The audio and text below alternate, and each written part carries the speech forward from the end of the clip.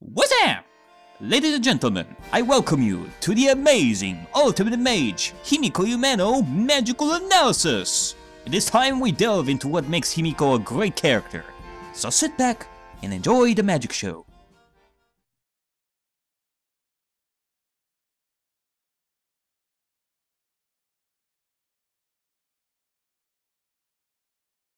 The story begins on the day of Himiko seeing a local mage perform a magic show for the very first time, the moment when she took an interest in magic, when her powers as a mage have awoken inside her. The local mage saw the potential that Himiko had and took her under his wing as an apprentice. Her master taught her many things about the role of mages and how to become a powerful one. Himiko idolized her master so much, she started taking some of her master's traits like pretending that the magic tricks are actual magic, or that she is a mage, thus becoming part of Himiko's personality as we know her, but also a part of her escapism problem that will soon engulf her world. After some time passes under her master's teachings, she becomes much more powerful, more talented and popular in the eyes of the mortals that have witnessed her magic for so long, fan letters being sent to her a lot more. Her master, however, started to become forgotten in their eyes, calling him old-fashioned. It all slowly drained him of his magic. The more time passes, the more it became apparent. The apprentice was outgrowing her master. This was the beginning of Himiko's difficult road that she would take. A period of darkness in the beautifully magical life she had back then. A period so painful to her, even thinking about it makes her stare at her feet, shoulders shaking, feeling sad and guilty for this and the events that transpire afterwards. It all reaches a big climax when during a magic show her master made a mistake because of all the pressure that has built inside him lately, and the mortals turned against him, calling him names, yelling at him to get out of the stage, wanting to see Himiko instead. Her master was ashamed for him to be seen like this not only by the mortals, but by Himiko as well, who has idolized him all this time. For him to show such weakness in front of her, it was the worst day a grand mage like him could ever have. All this made even worse when Himiko herself stepped in, confronted the mortals, trying to fix the problem and protect her master.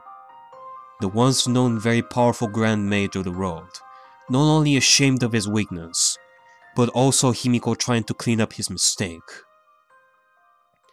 And thus, the story ends, with the master's disappearance right after the magic show, the embarrassment that he felt making him retire, leaving Himiko all alone, without ever saying goodbye to her. Till this day, Himiko has carried this burden with her, the feeling she has of being responsible for her master's fall for her to believe that her increasing fame has led the biggest idol in her life to end up becoming a nobody. It was a period that has emotionally damaged her. What makes the Himiko that we have seen in the first chapters of the Killing Game and the one from back when her master was still with her different from one another is, well, expressing emotions. She has confronted the audience by expressing herself, opening up to them and trying to fix the problem. And since her master left after that, you can clearly see why not expressing herself. Bottling up her emotions during the killing game was her method of trying to survive it, since, in her mind, she didn't want to do a similar mistake which would end up in her death. Her feelings of guilt are painfully clear in the way she talks about her past, feeling tired of talking about her past at times and leaving it there, closing her eyes, inhaling a deep breath after we asked her to tell us what happened next telling us her story differently in a way that would justify her master's disappearance, like how the letters and gifts sent to Himiko, telling her how great she is, were seen as a bunch of lies, a trap to make her master leave. Telling us about the anti-mage who set up her master behind the scenes, taking away his magic, being responsible for his demise. She talks like this as a means of trying to suppress her feelings of guilt, using the one thing that has taken root inside Himiko's heart ever since that period of her life. The one thing she uses from then till now in the next story of her life, which becomes one of the central points of her struggles in the early chapters of the Killing Game. escapism.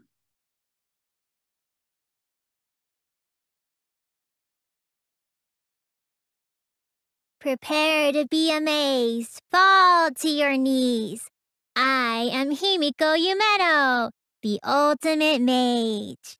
Enter Himiko Yumeno, the ultimate mage, the youngest person to have ever won the Magician of the Year award, of the group called the Magic Castle, also known as the Hall Magicians, where the world's magic lovers gather. Despite the painful history that she had, Himiko continued to gain popularity because of her talent. But, as it is expected of the harsh life of a mage, her magic is being disguised by the of Magicians as tricks. It is said that mere mortals are not yet ready to witness the true potential of her magic, and that it will cause chaos in the human society. Which kinda makes me think that she would be a really nice addition to the Skulduggery Pleasant series. But, but I digress. She definitely strikes us as a mage, as we can clearly see by her trademark mage item number 1. The Mage Hat. The Black Witch Hat. Her most notable piece of her uniform with a red strip and a small pin on it. We also have her trademark mage item number 2, the brown pointy medieval shoes with white ribbons tied around her ankles, which are actually called P- Pola. Uh, Himiko, do you know how to pronounce this? Sorry. Either way, both the witch hat and the pointy shoes are some among the traits she got from her master, way back when she was his apprentice. Moving on, she also wears brown tights, bubble balloon red skirt, black blazer with grey accents, with a blouse underneath a brown sweater vest. She also has an insignia on the pocket of her blaze which represents the previous high school that she went to called Dreamforest Girls High. Her name Himiko in kanji represents Secret Child, and Yumeno represents Dreamfield. Putting two and two together and you get Secret Child of White Dreams. She's voiced by the Japanese voice actress Aimi Tanaka and the English voice actress Christine Marie Cabanos, who is known for voicing Chiaki Nanami. Last but not least, her familiar is a freaking tiger cub, yo! You didn't look at it, it's so cute, huh? And thus, with the magic get-up all set, Himiko embarks on a new journey, a new chapter in the story of her life which will have her face hell and become a great mage.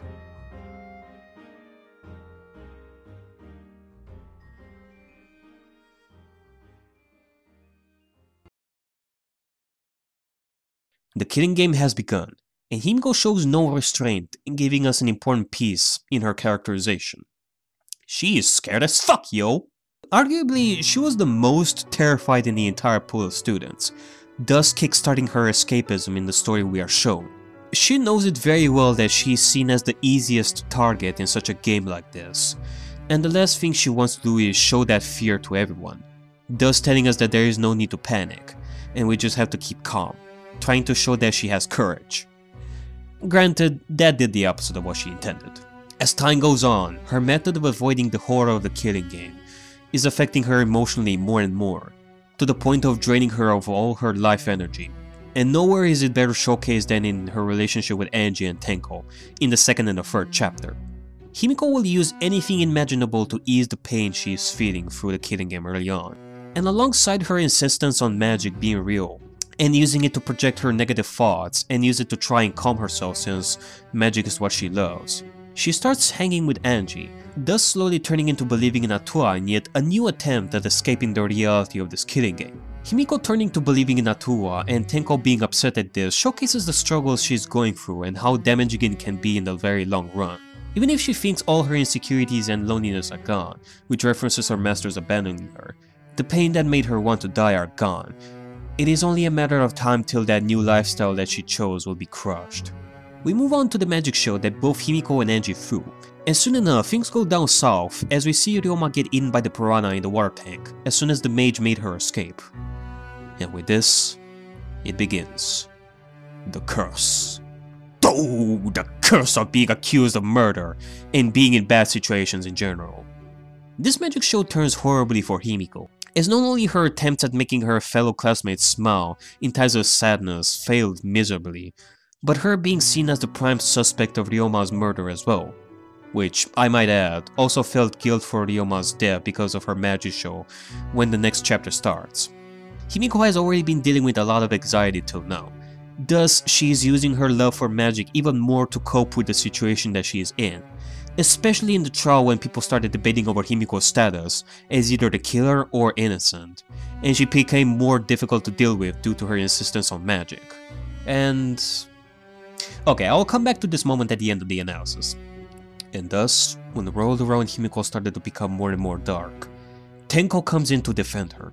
This is the moment when Himiko starts seeing Tenko from a new angle than the creepy stalker she has been like till now.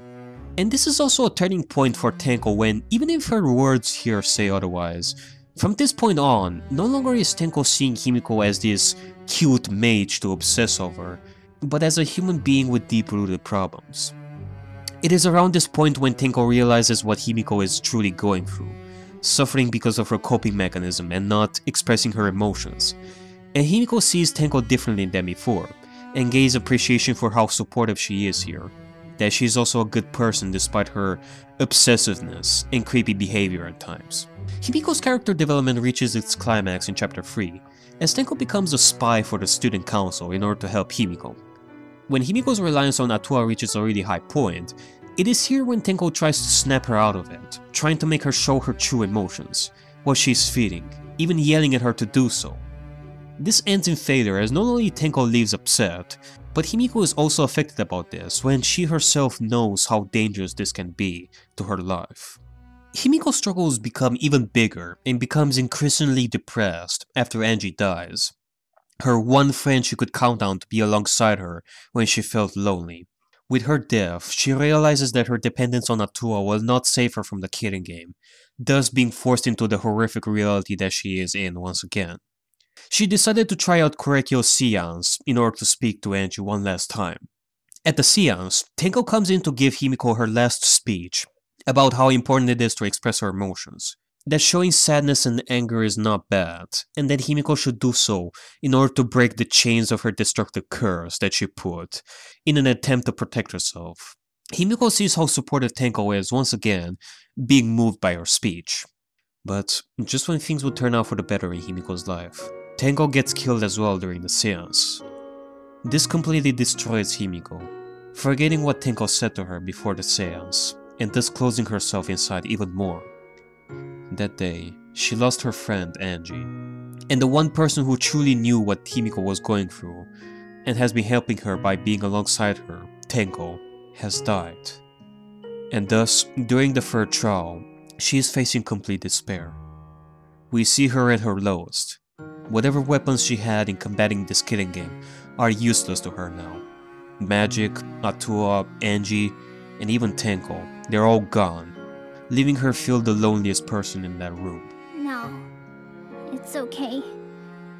It's no surprise he'd think that. I know I ignored Tenko before. That's why I'm so upset now. I should have faced Tenko, worked things out with her while she was still alive. But now, it's too late. I can't complain to her or thank her. This is very important in understanding what Himiko truly felt about Tenko this whole time. Obviously, given the way Tenko acted around her in chapters 1 and the first half of chapter 2, it is no surprise that Himiko didn't really like her early on. And it is completely understandable, what with Tenko's creepiness showing at times. But there is no denying that from the second trial onward, Himiko started warming up to her as well, because of how thankful she was for Tenko defending her in the trial, and worrying for her health before Angie's death and the seance. This line that she says right here shows us the guilt she has over not expressing her gratitude towards her for those moments, telling her that she was also a good person despite her obsessiveness, of how caring Tenko was for her. She feels guilt here over not discussing this with Tenko, to sort things out, to straighten things out regarding her obsessiveness. Himiko in the end appreciated Tenko, but that appreciation was never shown to Tenko due to her inability to express herself at this point in time. And now, with the students starting to suspect Himiko for Tenko's death, not only is she facing guilt and fear, but is now lacking any will to live and is tired of what is happening to the point of no longer caring whether she is being voted or not. She has fallen into complete depression, until she is reminded of Tenko's last words, to live life facing forward, and give her the strength she needs to continue, to find Angie and Tenko's killer. Because if she didn't, then Tenko's words would have meant nothing. She realizes that if there is a way to apologize to Tenko for the way she was, it would be for her to continue to live her life and survive. But there was one final component that Himiko needed in order to reawaken as a mage.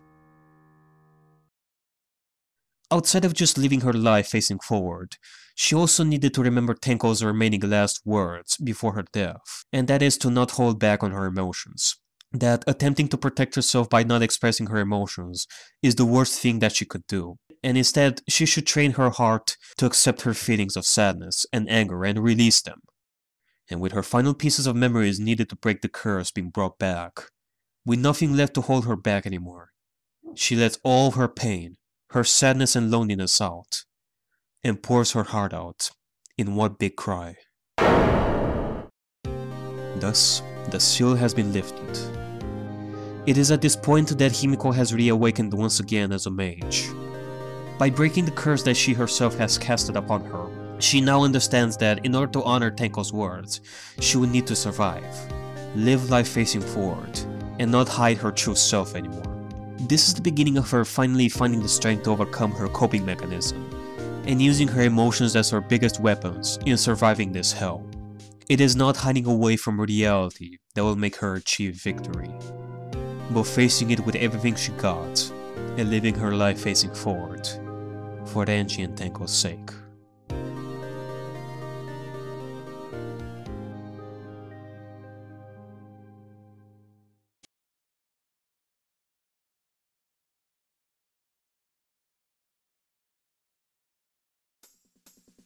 With the start of the fourth chapter, we see Himiko showing us her true mage side, expressing her true emotions and not letting anything get in her way to show that she means business from now on.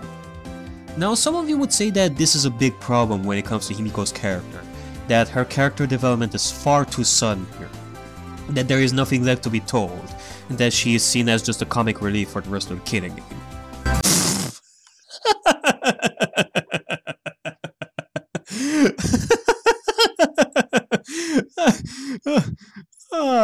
You goofballs.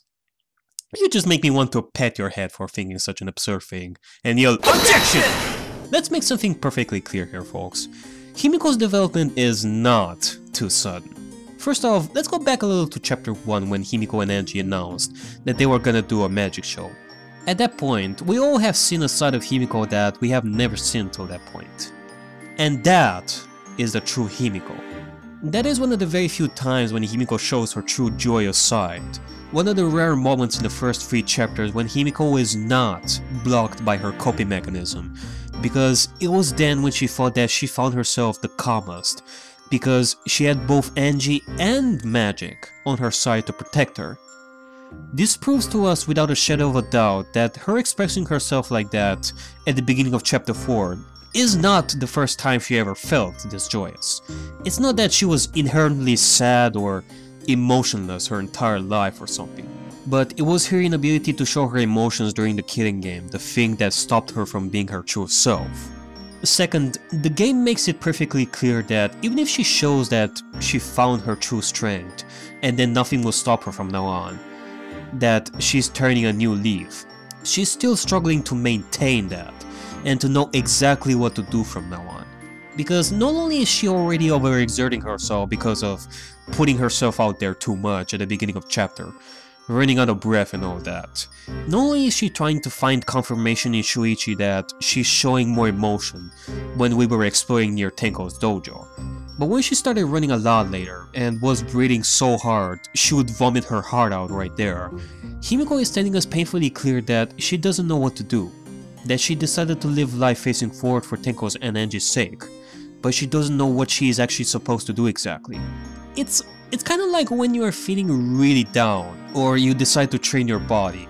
You wake up in the morning and you are all, yeah, alright, a new bright day. I'm gonna train so hard from now on. I'll improve in so many ways. Let's do this, yeah! And then you overexert yourself so much, you start feeling ill, and you are back to square one feeling down. It's one thing to have the spirit, but it's another thing to have the spirit and the right mindset to achieve your goal. And that is exactly what Himiko was trying to find the right mindset to achieve her new goal of honoring Tenko's last words. And how does she do that? Well, by trying to be useful and helping everyone survive, which is her second arc in the story in the last three chapters of the Killing Game. Her story is not over, her character development is not over, and she's not just a comic relief from this point on. She still has her own story to tell us. So, what does she do to prove herself useful to the rest of the students and help? Well, first of all, her contributing to the trials is a good start. And let me just say this now, folks. You saying that Himiko is useless after the third chapter is just is just so wrong. I don't even know where to start. Like, first of all, I could just slap you all in the face, those of you who think that. Second, you people are just downright wrong in saying that she is the Yasuhiro slash Akane of the V3. Because Himiko is really trying her best to move the discussion, even if she's not the smartest cookie there. She has definitely shown us that she is a lot more active in these next trials than the first three. Not only by reaching some great solutions by herself, best example I can give is her idea of using the Electro Hammer on the Exisals if he decide to lie and have Shuichi confront Maki. But seriously, in general she always speaks her mind regarding the situation at hand and tries to move the conversation. Like she always tries to help and it is a huge contrast from the earlier chapters when most of what she did is talk about magic. I mean, just, just, listen to some of her lines in the fourth trial. Now we know the mansion and chapel were actually next to each other, but the problem is the wall between them. If that's the case, Miu's avatar must have hit the chapel wall really hard. We felt the impact all the way from the inside of the chapel. If it made that much noise, it must have built up a lot of speed. But then why did Miyu say there was only one signboard? Toilet paper was the murder weapon! And speaking of magic talk, it is because of her wanting to prove useful that she doesn't just talk about magic as much as she did before but instead she's showing us that she can be quite serious as well, while also offering a few cute magic remarks here and there to show us that she hasn't completely lost her love for magic.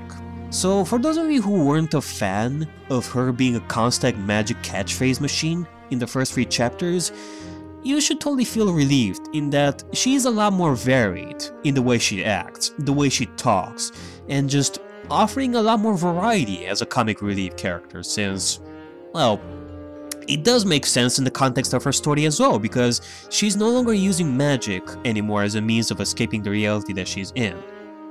We move on to chapter 5, when even if she tries her best to contribute with all she can in the trials, it is not enough in her eyes.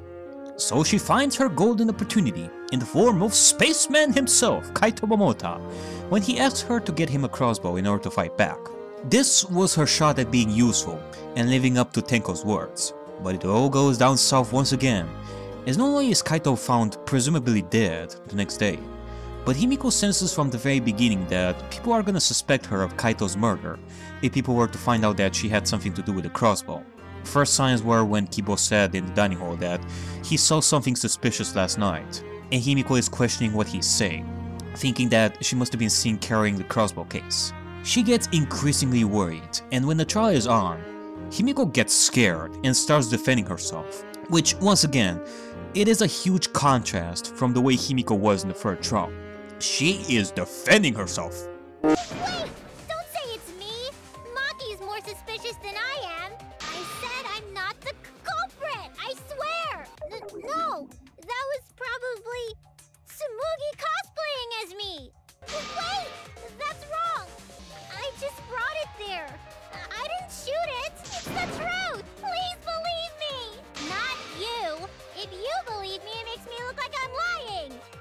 I know what you're thinking. Well, why not tell everyone from the start instead of hiding it? That would have solved the problem. Um, yeah, I I doubt it would be as easy as you may think. I mean, maybe you should try and do that and see how that will go. Cause even if she were to tell everyone straight what happened, more than likely, she still would have been accused of murder given how most students tend to point their fingers at each other like Phoenix on ramen day. She said it herself. She was scared. She didn't think rationally. She even tried to pin this on Maki so that she wouldn't be accused anymore. In the end, everyone figures out that it couldn't have been that Himiko killed Kaito, and Himiko apologizes to Maki for saying that she was the one that used the crossbow. And thus, Himiko's attempt at proving herself to be useful and help the students ended in failure in her eyes that day. Chapter 6 kicks in, and Himiko is desperately trying her best to be useful to everyone since her last attempt ended in failure. She goes to Rantaro's lab to try to find clues, but she becomes increasingly angry over not being of any help. And when she stays back to search the room where Monokuma was, the shot from Kiibo's gun creates a cave-in and blocks the way out of the room, leaving Himiko stuck inside. It would seem that all hope is lost for Himiko. Until she escapes the room by herself and finds us later, telling us that she found the secret passageway in the girl's bathroom. And thus, Himiko's mission was a success, as she becomes happy that she was able to help everyone in solving the mystery behind the killing game, since without that very important clue, we wouldn't have been able to figure out that Tsumugi was the mastermind. And if Himiko didn't decide to try and help, and stay in the room to investigate more, and nobody else was going to investigate there or figure out that there, were, there was the secret passageway, then it all would have ended there. She spent the last half of the killing game trying to contribute and be helpful, and exposing Tsumugi as the mastermind is the final hit that concludes her mission and she can finally relax knowing that she was able to fulfill Tenko's last wish of surviving, helping the students. And to end her story, put an end to this motherfucking killing game for good. Use the only weapon I've got. I'll use my life to put an end to this killing game. Kazing! And that concludes Himiko's entire story in the killing game. And wow, was it a roller coaster. Now, inevitably, even if I have been singing praises to Himiko, I think it is time for me to address some problems that people may have with her. Share my thoughts about some particular moments, try to make you understand that some of these problems are not actual problems at all in the end, if you are to look into it a little more. And address some problems that I myself have when it comes to Himiko's character that that cannot be defended till the end. Because it sure wouldn't be fair to analyze one of my favorite girls, Danganronpa, one that I love so much without mentioning some flaws, right? Because no student is perfect in the end.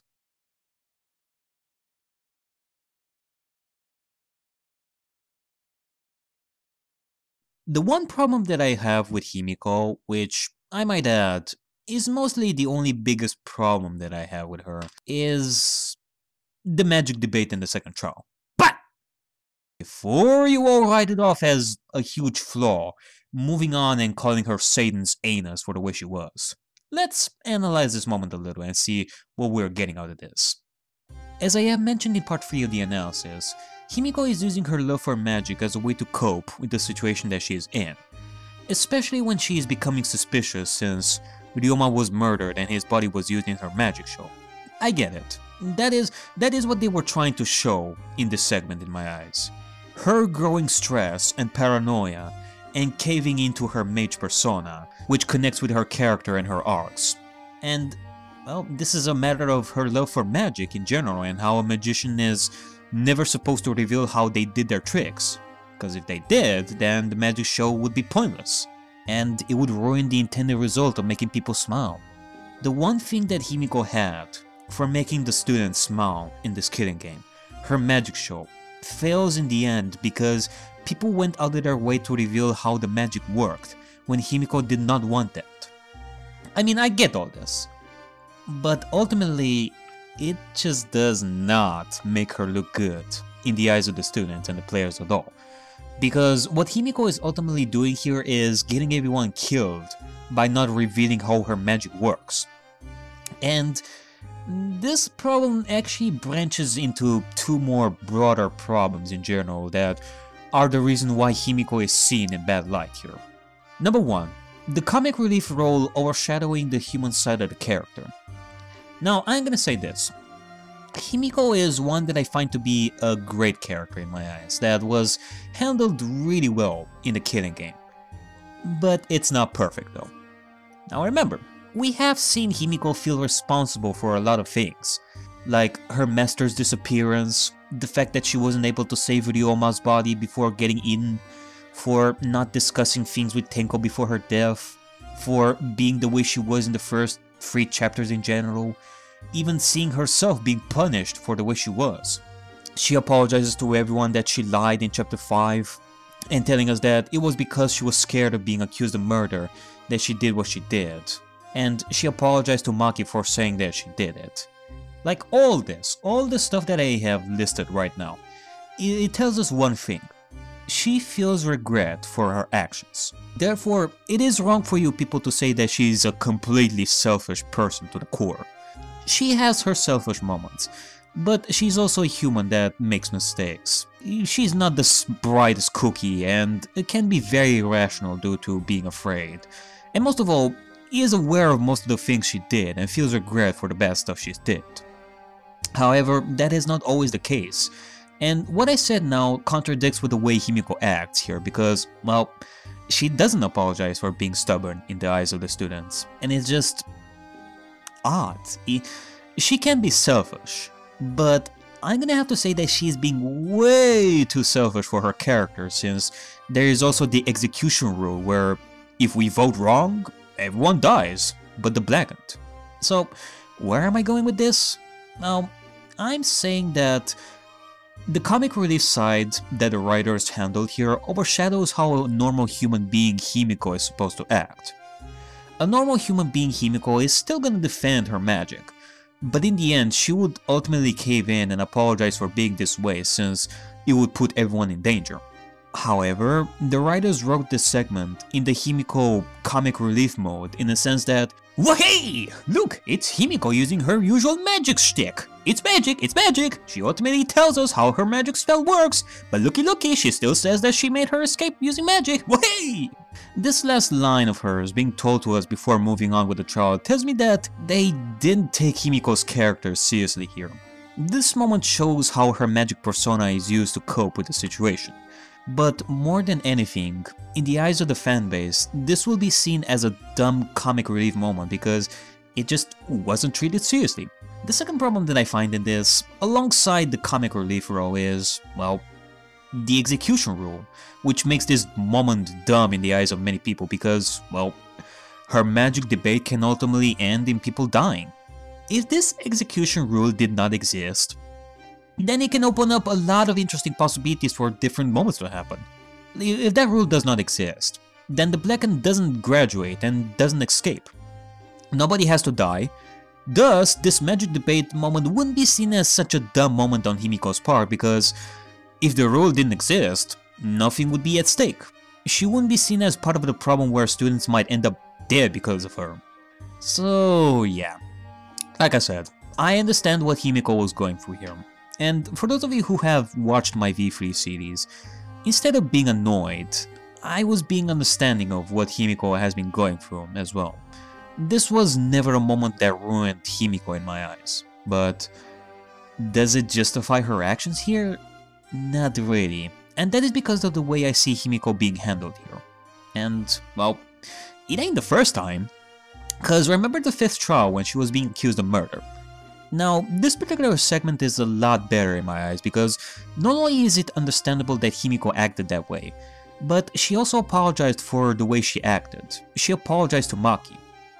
This is the human being Himiko that I know and love. But what was her next line after Maki told the truth? I didn't teach Himiko how to assemble the crossbow. She couldn't have used it. See? I told you! It's just like I said.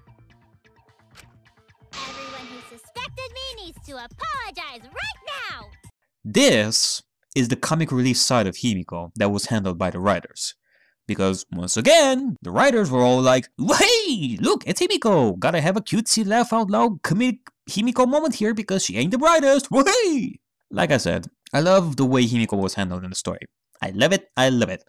But there are small moments here and there where the writers had a tiny bit of a problem in balancing the comic relief Himiko and the human being Himiko. And it's not just her. This traces to Danganronpa in general, where they have to balance comedy with serious moments.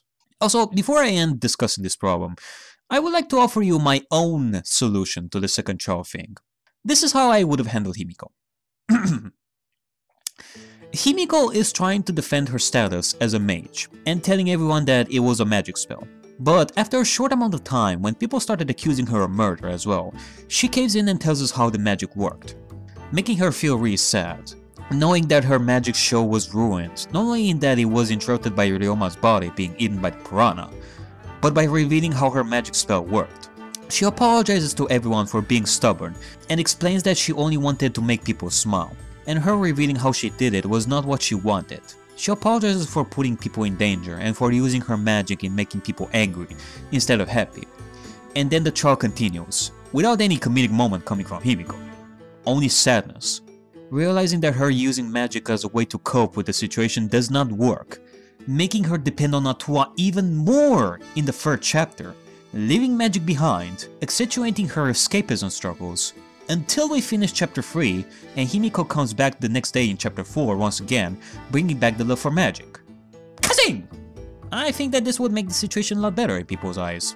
Now, I'm gonna go into the problems that people may have regarding her, but me personally I don't. First off, her being considered the biggest catchphrase machine. As you may know, I never had any problem with her mage persona. I was never annoyed. I always liked it. I always found her funny. Especially after chapter 3 where, in my eyes, they elevated the comedic possibilities even more for Himiko beyond the it's magic catchphrase. And for those of you who had a problem with that side of her, where she always mentions magic and that she's a mage, I can understand if that bothered you in the first half of the game. This is more, this is on a subjective level here, but what I can tell you for sure is that she upgraded herself as a comic relief character a lot after chapter 3. Another problem is her being mean to Kiibo. And you know, I'm just gonna go off topic here a bit. Um, I love how in Miu and Kokichi's case, even if both of them are well known for insulting the students in god knows how many ways, especially in Miu's case where she just shits on everyone, they get away scot-free and are still well liked by the fanbase. But if Himiko is seen telling something bad to Kiibo or anyone else once or twice, then everybody loses their mind! Now, of course, I'm not gonna act like Himiko is the sweetest angel in the world or something like that. She has her moments when she says stuff that can make her look bad. But let's go back to the topic of escapism a bit. now let me ask you, what are the side effects of escapism? Oh, there are many of them I am sure, but one effect that is interesting to note is the risk of alienating yourself from friends, family, and just any person you come across. Himiko's mage persona is a form of escapism, in similar fashion to how Gundham's persona is that of an overlord, which is escapism too. Why do you think Gundam is the way he is? Because him being seen as an overlord is done so that he wouldn't need to interact with anyone, to alienate people from approaching him. In Himiko's case, while she has that desire for making friends, that mage persona of hers has caused her over the years to affect her social skills. Thus, the way she interacts with people normally might end up badly. She tries to make a joke she thinks is great, the other person will think the joke is terrible and is offensive to the person the joke is being told to. She says something without thinking that what she said can hurt someone, it ends up hurting someone, etc. So, if there are moments when Himiko is seen as mean-spirited or anything like that, which can also include the debate in, in the second trial as well, it is because of her mage persona and lack of social skills. Her escapism and coping mechanisms severely hurt her interactions with reality. They cause her to lack awareness to what she says, and causes some of the characters to be offended by some of the stuff she says. Now, there are other problems that people have with her, but I already tackled them when I went through this analysis, and those are problems that are easily fixed if you try to look into Himiko a little more. Like what she truly thought about Tenko after she died, her character development not being too sudden at the beginning of chapter 4, the crossbow event in chapter 5, and what else? Um, oh yeah, uh, I did hear some people say something about how she was at fault when it comes to Gonta's murder because of her chopsticks thing. I I just uh, I mean, what? What?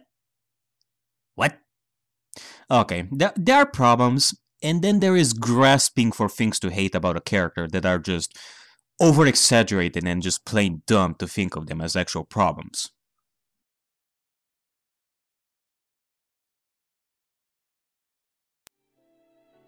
There are many other things I could discuss about Himiko. So, before I say my final conclusions, I would like to address one more thing that maybe not a lot of you are gonna notice when it comes to Himiko and V3 in general. Let me ask you, what are some of the themes you know that V3 has? There's truth and lies, there's logic and belief, there's fiction and reality, and I feel like I'm missing something here, but I'm not sure. Oh yeah, the, the Dispersito and the Shloop Dope Hamalama Ding Dong Hope, blah blah blah, whatever. But if we are to think about it, Himiko's theme of escapism also has a much larger importance to the game that isn't just tied to her character really. Because the last case talks about how the world is peaceful, thus people are using killing games as entertainment to escape their boring lives which includes the students who take part in these games. Hmm? Kind of interesting to think that Himiko's themes also have huge value in the overall story as well. In similar way to how Shuichi has the theme of truth, Kokichi represents lies and logic, Kaito represents belief, etc. Alright, well, with that being said, it is time for us to wrap things up here. In the end, by this point, I think you already know what I truly feel about Himiko. She is my personal favorite of mine, she is a great character in my eyes and I love her. I like her personality, I like her quirkiness, she's funny, and has a lot of variety as a comic relief character as time goes on. She has a great story that has a beginning, middle, and end, with her surviving and becoming a much better person. I never found her annoying when it comes to her mentioning magic and that she's a mage, but instead I find her endearing especially empowered by her love for doing magic shows in front of audiences to see her fans smile, which I find it heartwarming. With that being said, I'm gonna give her the favorite heart and the love heart. Now, before I end this, I want to answer the following question. Why did I make this video? Well, it ain't just because she's my favorite and I really wanted to talk about her and what makes her great, you know. But what is most important is for you people to get something out of this video. This video was specifically made for people who didn't really think much about Himiko or didn't really like her or didn't find her that interesting at all, who never looked that much into her.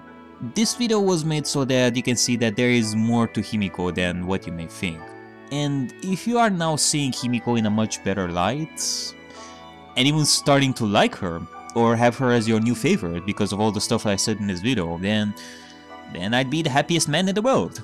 And if you want to know more, like hear some thoughts about Himiko that I didn't address in this, you can check other sources, like for example there's Jewell's video analysis on Himiko that you can find on YouTube.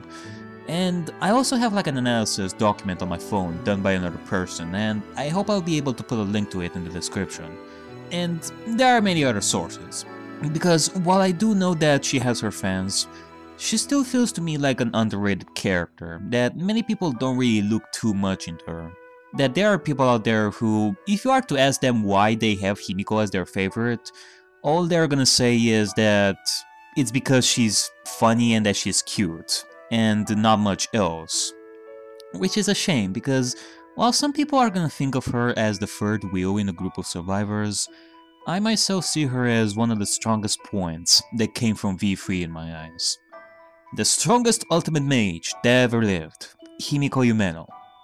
Thanks for watching ladies and gents.